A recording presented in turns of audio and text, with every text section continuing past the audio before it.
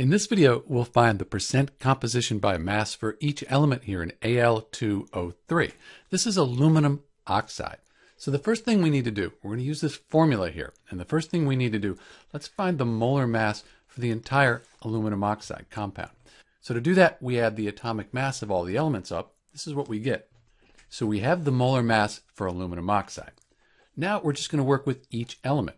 So let's start with aluminum. We have aluminum and the molar mass for the element, the molar mass for aluminum, that's 26.98 grams per mole.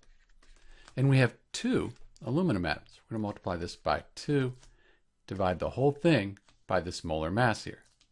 When we do that, grams over moles, that cancels out. We multiply this by 100, that'll give us a percent.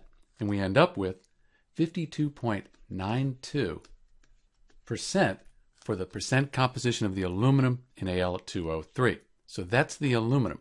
We do the same process for the oxygen. For the oxygen, we take the molar mass for the oxygen, that's the 16.00 from the periodic table. We have three of those, multiply it by 3, divide by the molar mass of the compound, that's this number here.